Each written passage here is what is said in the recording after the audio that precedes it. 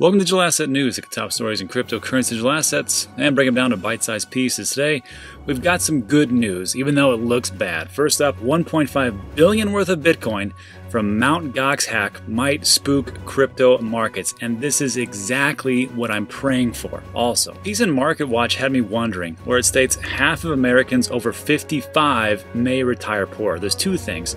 First of all, it's a lie because they're not going to retire poor or may retire poor. It should say they will retire poor.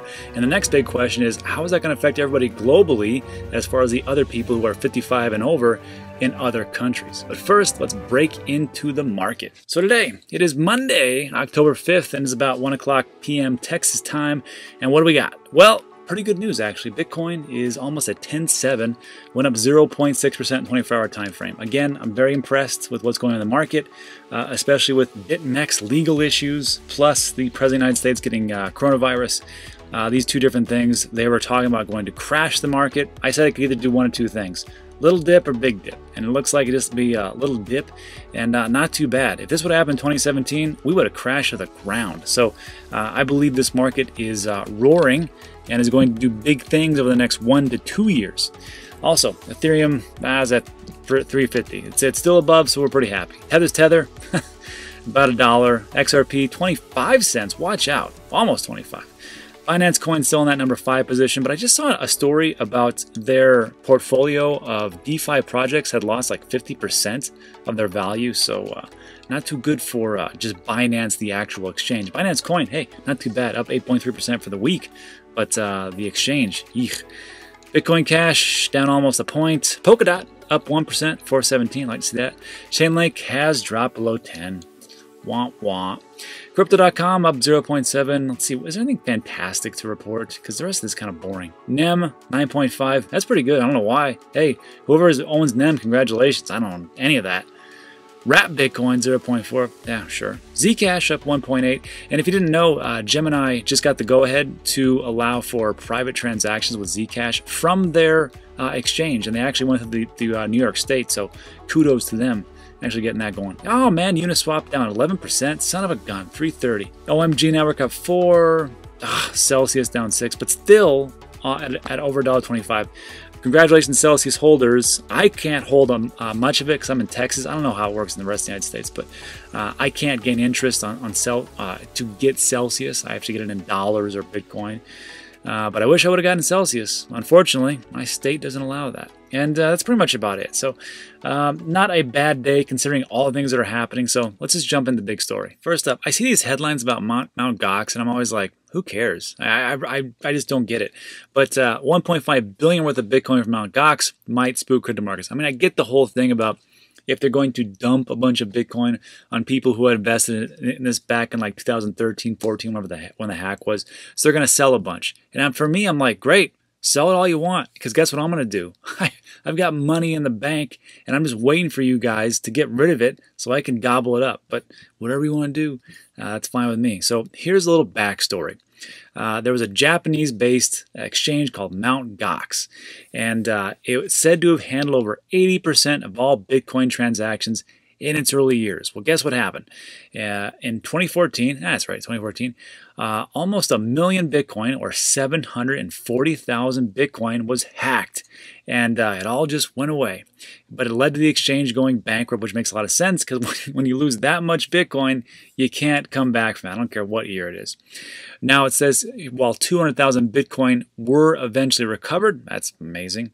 Uh, the whereabouts of the remaining 650 remain a mystery. Hold on. Let me see here. Let me do some quick math. If you get 650 plus 200, I'm pretty sure that's 850,000. But it says here that 740,000 Bitcoin were hacked in 2014.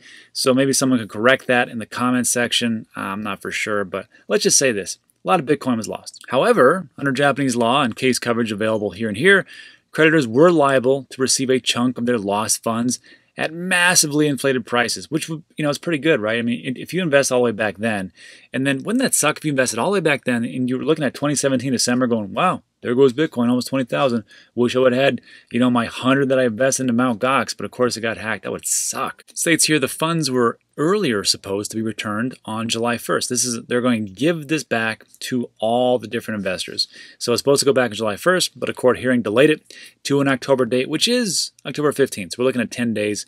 It's it's going to go back. But here's my question, everybody. I cannot find an answer for the life of me. So if you had 200,000 returned, right, and there was whatever this number is, let's just say 600,000. So 600,000 is supposed to be returned back to people, and they're going to give back roughly 150,000 in this in this one. Yeah, under the terms, the creditors are said to cumulatively receive over 150,000 Bitcoin. So this story keeps coming up, and it seems like every time I read it, it's like, oh, these you know, these people that got hacked, they're going to get all this Bitcoin, it's going to crash the whole market. Well, it never really does. But I'm just, I'm just thinking to myself, I'm like, well, how many times is it going to happen? Is, there has to be like a limit when these people actually get all their Bitcoin back. Because if you lost around 600,000, there should be a point where it's like, okay, you guys are paid off. Now go away, do whatever you want. So help me in the comment section to, uh, because I could not find how much is left to give back? Is this the last installment, or we're going to have like 20 more of these things? So It seems like these stories come out like every six months. States here, while some of these creditors may choose to hold, others will sell for a profit over 300%. Yeah, I think so. And this is where it always gets funny. I I just love it when these when these uh, publications they start to quote uh, these different people's names and you know anonymous popular Twitter account, Mr. Whale, Joe Blow, John Gunn. It's just it just sounds so ridiculous, but I mean it is what it is. Uh, meanwhile, Mr. Whale, an anonymous Twitter account, states this: If 150,000 Bitcoin is sold in the market, it would cause a brutal drop and fear would quickly spread across the market. So that's pretty much it. The rest was boring. The, the, the whole thing comes out of this. I'm, I'm praying and I'm hoping that all these people sell because I want them to sell and I want the market to go down. Uh, the you know we just saw the, the price of Bitcoin. I'm hoping it goes down below ten thousand. That would be fantastic. And if it goes below nine, even better, uh, because when I'm looking at this, I'm just an investor. I'm not a trader. So when things start to go down, I get pretty excited. I, I didn't used to because I used to dump. Like when I first got in 2017, I dumped a bunch of money in, and I should not have done that. I should have just dollar cost average like I do now. And then when all these dips happen, I don't have this, you know, like this crushing tightness in my chest going, shoot, I just lost 30%. I can go, hey, I got money on the sidelines, I'm ready. So if you believe that Bitcoin's going to go up, this is actually huge. So if you look at like, uh, this was just came out uh, today. This is from Bloomberg uh, Bloomberg Professional Services, and their analysts have said, hey, Bitcoin's on track for 100,000 in 2025. Now, that's very conservative if we just let's just stick to a conservative number 100000 2025 but it's not just them. They also there's another one asset manager for ark investment said that bitcoin could reach a 3 trillion market cap by 2025 so again they're talking about the same type of year 2025 sure whatever. Um, if you believe in this one or tim draper where his assessment is it's going to be 250000 uh, i believe bitcoin is going to go somewhere north of 100k that's all I can say. If you have a $3 trillion market cap here, that's around $160,000 per Bitcoin as it stands right now. And then if you take a look down here, and they go from 3 trillion all the way up to 5 trillion. And this is actually from Adam Back. He is the um, CEO of Blockstream. He's a big Bitcoin uh, maximalist. And he said that's pretty conservative. He agrees with this whole thing. He says, hey, could be a, a trillion dollar market cap within two years probably sooner. And again, that is a super, super conservative uh, type of number. Just in 2017, when we were just all on vaporware and white paper, uh, it was the entire market cap was 850,000, 850, yeah, 850 billion, excuse me. So it was almost at a trillion. But that was, of course, uh, Bitcoin still had a major dominance, but that wasn't everything. Of course, that was Bitcoin and XRP and Ethereum and all the different low caps. But uh, Bitcoin was a large uh, part of that, maybe 65, 70%. Can't remember. Someone correct me in the comment section. But to get to a trillion, I don't see it uh, being that big of a deal. And for 50K to come around, sure. Let's make it the most conservative you can possibly think of. If Bitcoin goes down, to below 10,000 and you can pick it up for that amount, whatever it is, you could 5x your your investment in 1 to 2 years. And try doing that anywhere else, especially in the stock market, especially what's going to happen with the stock market pretty soon, uh, if you believe all the different predictions. So, I mean, there's no other way that you can possibly do that anywhere else. even land and real estate investment. Uh, pretty darn tough to 5x everything. Or if you want to look at like 100,000, 10x. Or 250,000, 25x. Just very hard to do. So let me know what you think in the comments section, which leads me to the next article, which is half of Americans over 55 may retire poor. And I, would like to take that may retire poor and just say will retire poor because I believe that totally to be true. I'm going to tell you exactly why. So this is actually an opinion piece. This is from Howard Gold. He's one of the writers there for Market Watch, and he just invests or he just interviews a couple of economists, and one of them is economist Teresa Ghilarducci, a professor at the New School the New School in New York City. I don't know if that's right. And one of the nation's leading experts on retirement. And she said that half, that's right, half, of Americans age 55 will retire in poverty or near poverty. She states our data is showing that because of the COVID uh, recession, about 50% of workers over the age of 55 will be poor or near poor when they reach 65 years old. And then they define what actually poor is if they're living on less than 20,000 a year. She told me I think that's what we could all agree that means chronic deprivation for the rest of your life. Now I don't know where exactly that you are. Some places $20,000 is a boatload of money, and some places it's not that much. So it just really just depends on your cost of living, where you're at, and what are your needs at that point. And the author goes on to say something kind of odd. He says, uh, if this happens, it would it would reverse decades of progress toward eliminating poverty among the elderly. So uh, it just got me confused because if you don't know, uh, military, I was, I was in the military, medic, became a nurse, did a lot of things with, with home health care. And this was like when I, when I was in my 20s. Uh, now I'm in my late 40s, and I can just tell you that all those years that I spent over there, I would see nothing but poverty. Uh, there was the majority of our patients were either uh, I mean, everybody has, you know, Medicare at that point, but a lot of our patients were on Medicaid.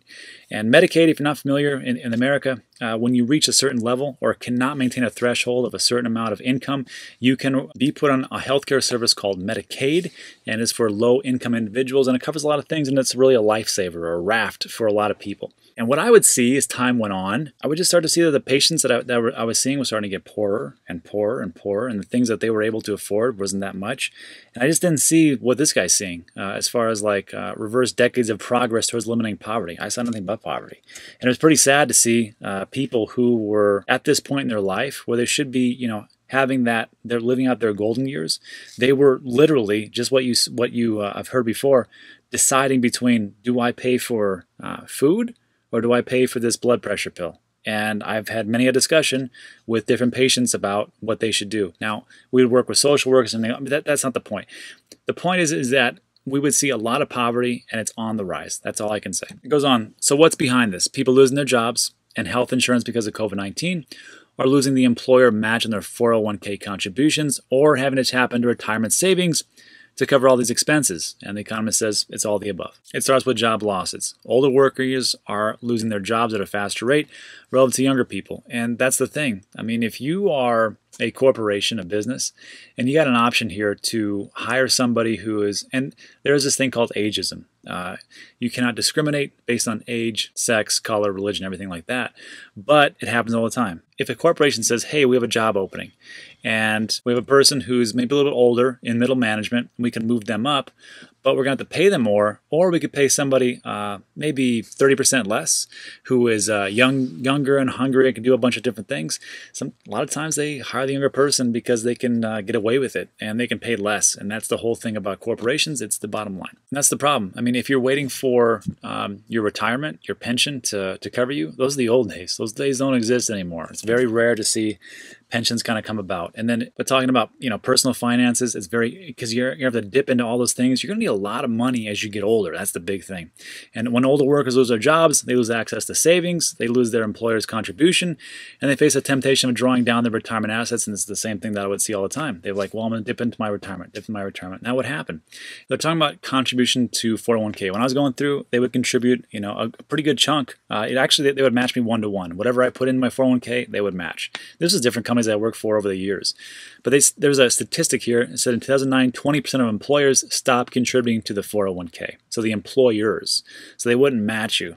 But now, over 50% of employers have stopped contributing to the 401k because they learned they could get away with it. I don't know if that's really a wise practice because, as I understood it, you could contribute to the 401k and it would be like a tax uh, write off, but maybe not. I guess these companies want to save as much money as they possibly can. Anyhow, here's one of the problems that I see because of the retirement accounts that are out there, especially like your 401ks or your IRA or stuff like that.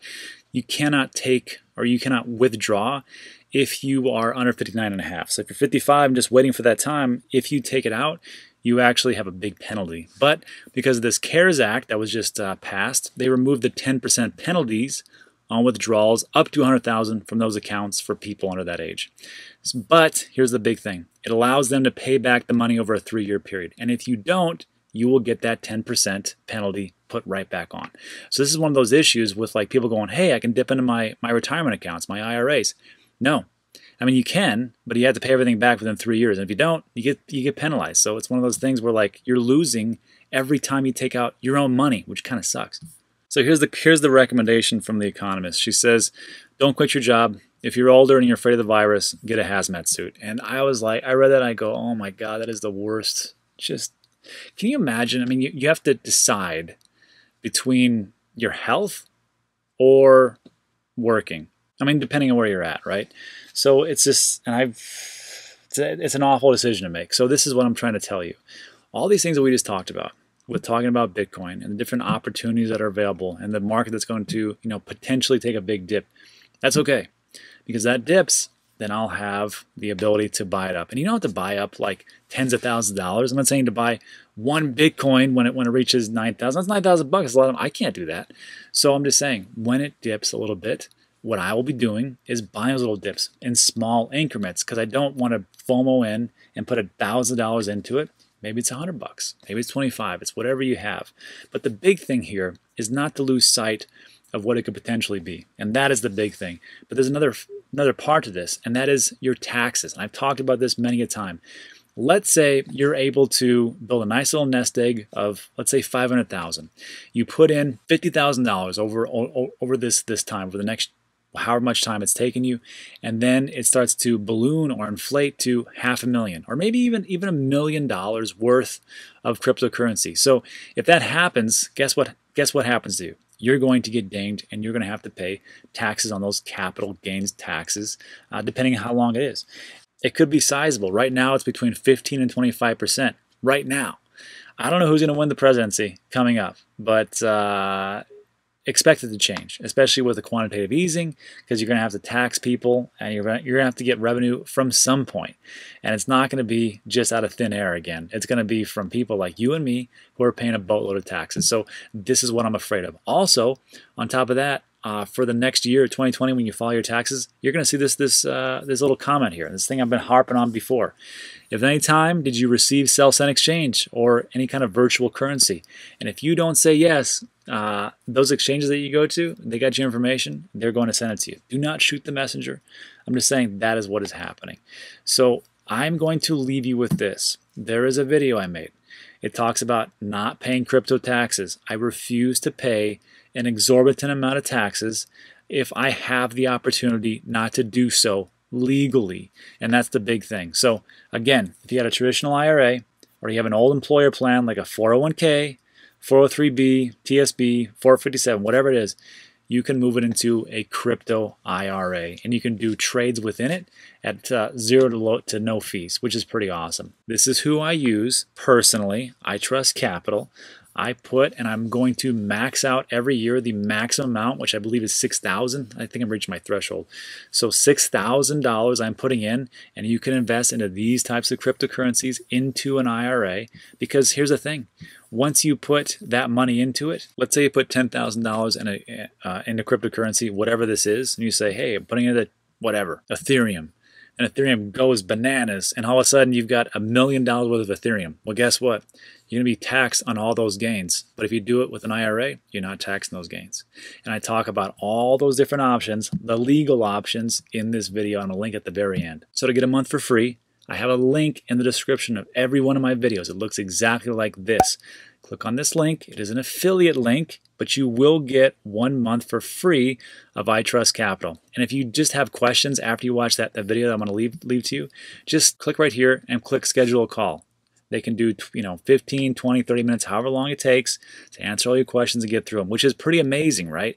Just to actually be able to talk to a live person, what actually happens here, which is fantastic. That's it for that. There are some different pitfalls that we just saw, and we took a look at that article about retiring poor. Remember, it's not how much you make, it is how much you keep over the long haul, and that's why I talk about using a service something like this with iTrust Capital. And look, there's other companies out there that do the exact same thing for cryptocurrency IRAs. Just that I looked at other ones, I did not like them, and this is the one that I went with, and it's my personal choice. So I give you the option, and you can check it out and do whatever you want to do.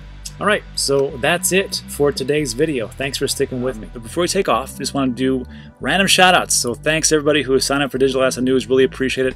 Uh, here's Steve Ehrlich, could be the CEO of uh, Voyager. Who knows? Uh, Chris Castillo, PackBid, Crypto Fastlane. That's a good one. Frankster, Joey Serena, Bill Ennis, Chuck C. Chuck C. I like that one.